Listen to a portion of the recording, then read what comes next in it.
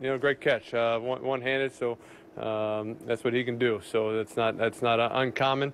Um, but a great job going down, making making that catch a huge play, getting getting seven points right there uh, was obviously uh, obviously big, getting, making a two-score game, and uh, so that's uh, he made some you know made some uh, big-time plays for us today, and it was good to get you know get the touchdown right there.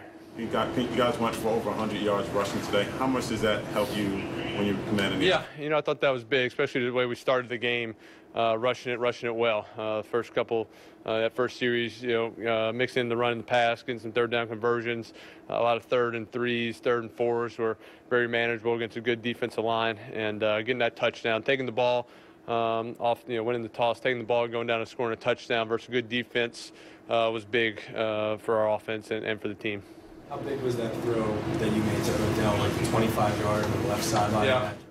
Yeah, it's big third down, third and ten. You know, those are tough versus uh, versus this team. They do a good job. They brought some pressure.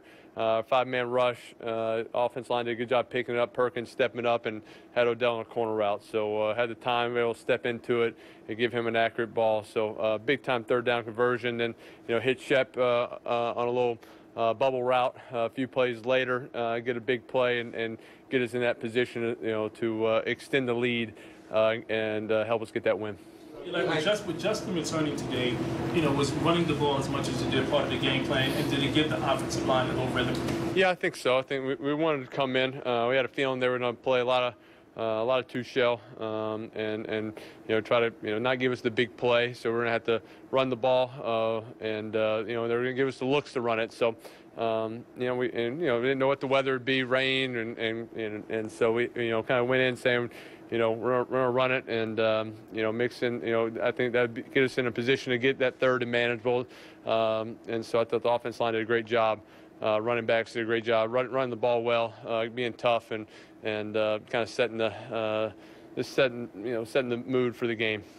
How important was it for you guys to start off with the ball and take it right down the field to get the uh, to get a touchdown? First Yeah, that was big, especially you know coming after last week where we struggled offensively, not not as good as we wanted to, and and um, you know for us to uh, win the toss and and you know Coach McAdoo said we're going to take the ball and uh, go down and score. I think that just helps. You know that's big for for the offense, giving us some confidence. Also for the defense, just knowing, hey, you know we, we you know we already got them a seven point lead, and um, uh, so they could you know continue to go out there. They're, they're continuing to play great football. What did you have to correct in the second half offensively? There were a couple drives there where you looked visibly either frustrated or maybe people weren't on the same page. It was hard to tell exactly. Yeah, we just had one. We had one bad drive there.